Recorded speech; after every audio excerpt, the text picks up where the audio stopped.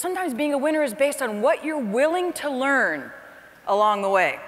This video is about a guy named Dawat Mutang, and he has a funny name because he's not an adventure racer. He's a farmer from a tiny little village in the middle of the jungle in Borneo, where we started this race. But he became an adventure racer on this day totally by accident. There was a French team that had taken second place the year before. They were coming back to win. And on their way walking to the start line, one of their teammates broke his ankle. I know, so what the heck do you do? Right? They, well, they had to discuss it. Do we start unranked? Do we already start unranked? Or do we knock on the six huts in this jungle and try to find a guy to come race with us?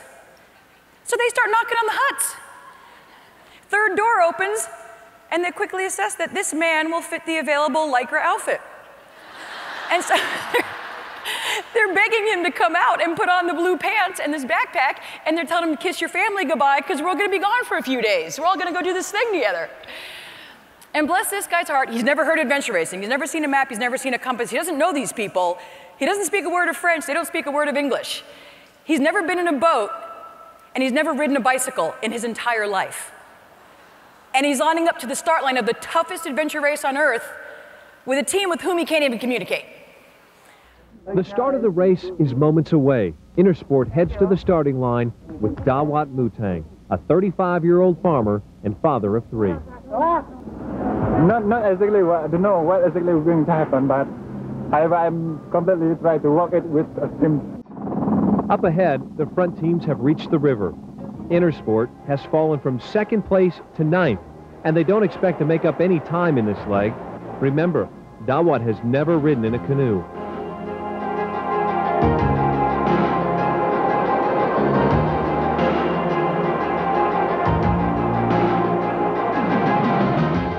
Not only did he survive the canoe ride, but now, at the age of 35, Dawat has learned to ride the bike for the first time in his life.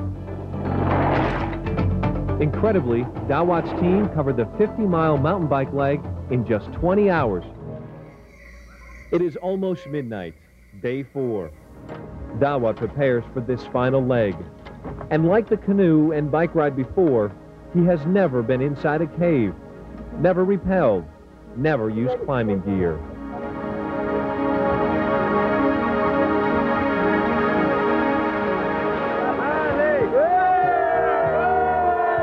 Dawat Mutang's incredible journey is complete.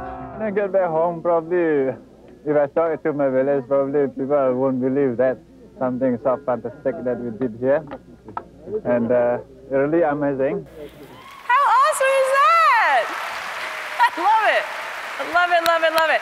Second place, second place out of 63 teams. And I know there were 63 teams because we were 63rd.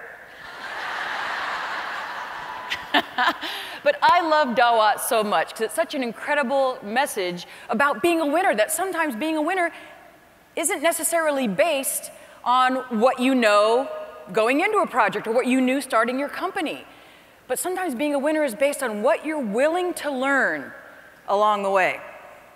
And very often, we're so afraid of change or challenge or doing something new. But I'm always inspired by Dawat because with the right courage and with your background and experience and the right team around you, you can jump off that cliff and know that your wings are going to grow on the way down, right?